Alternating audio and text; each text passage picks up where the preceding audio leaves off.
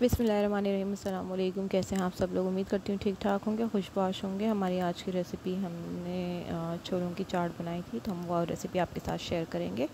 सबसे पहले हमने आधा किलो छोले लिए हैं, सफ़ेद चने, और इसको हम अच्छी तरह से धो के पानी से, और उसके बाद हम इसको ओवरनाइट भिगो देंगे। दो से तीन पानी से इसको अच्छी तरह से खंगा लिए आप चाहे तो अभी धो लें, चाहे तो सुबह उठने के बाद धोइए। जैसे आपको मुनासिब लगे, लेकिन शुरू में धो लें तो ज़्यादा अच्छा है। हम इसको अच्छी तरह से दो से तीन पानी से खंगाल लेंगे और उसके बाद हम इसके अंदर थोड़ा सा सोडा ऐड करेंगे, खाने का सोडा। मैंने एक टीस्पून के करीब इसके अंदर खाने का सोडा डाला है। आप, अगर क्वांटिटी आपके पास छोलों की ज़्यादा है तो आप इसी के मुताबिक डबल कर लीजिए। इसमें से ओवरनाइट रख देंगे, अच्छी तरह से ढाँप के कवर करके हम इसे रख देंगे रात भर के लिए और सुबह उठ के चेक करेंगे। तो जनाब, सुबह हो चुकी है। हम इसे चेक कर रहे हैं, देखें। काफ़ी ज़्यादा ये फूल चुके हैं। तकरीबन पाँच से छः घंटे या चार घंटे भी आप इसे, दो घंटे भी आप इसे सोडे में डाल के भून भीगने के लिए रखेंगे तो ये अच्छे खासे फूल जाते हैं।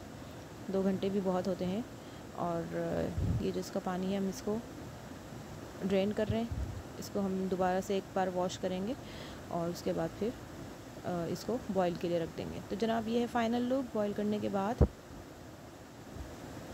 बॉईल करके हमने इसे प्याले में निकाल लिया है। थोड़ा सा पानी जो इसका रह गया तो वो हमने इसी में रहने दिया है। इसके बाद हमने मसाला तैयार कर लिया है। एक से दो टमाटर काटे हैं, एक से दो प्याज दरमियानी काटी है, धनिया, पुदीना है, हरी मिर्चें पुतर ली हैं हमने बारीक बारीक काट ली हैं और थोड़े से लीमू हैं और ये हमारे छोले हैं।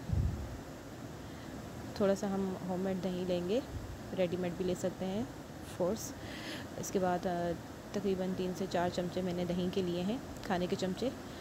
और उसको जो है आप अच्छी तरह से फेंट लीजिए और फेंटने के बाद इसके अंदर चाट मसाला मिला लीजिए। दो से तीन चमचे इसके अंदर चाट मसाला मिलाइए और चाट मसाले को अच्छी तरह से इसके अंदर मिक्स कर दें।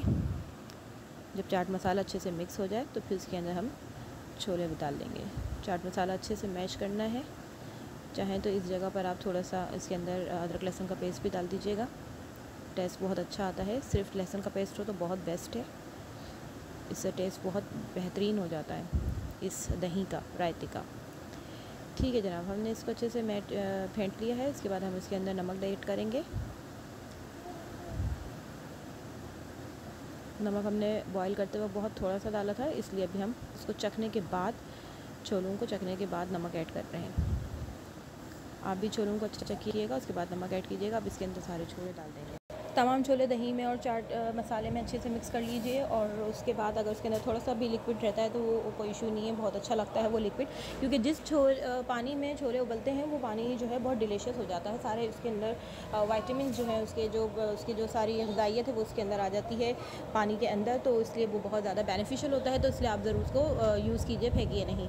मैंने भी उसे यूज़ किया था, उसके बाद मैंने तमाम जो मसाले हैं उनकी गार्निशिंग कर दी थी लाइक हरी मिर्चें, धनिया और पुदीना था, इसके अलावा टमाटर और प्याज वगैरह ठीक है? इन सब की हमने अच्छे से गार्निशिंग कर दी है और इसको अच्छे से सजा दिया है। आप चाहे तो मिक्स कर लीजिए और आप चाहे तो ऊपर रहने दीजिए। मैंने उसको अच्छे से मिक्स कर लिया था। अच्छे से मिक्स करने के बाद फिर उसके ऊपर से आप ऊपर से चा, चाट मसाले को दोबारा से स्प्रिंकल कर दीजिएगा और आप चाहें तो हरी मिर्चें पीस के भी डाल सकते हैं। आप चाहें तो इमली का मसाला जो पेस्ट होता है वो भी डाल सकते हैं और इसके बाद इसके मैंने अच्छे से टमाटर से और मज़ीद ऊपर से स्प्रिंकल कर दिया था गार्निशिंग कर दी थी और उसके बाद लेमन वगैरह से सजा कर इसको मेहमानों के सामने पेश किया था।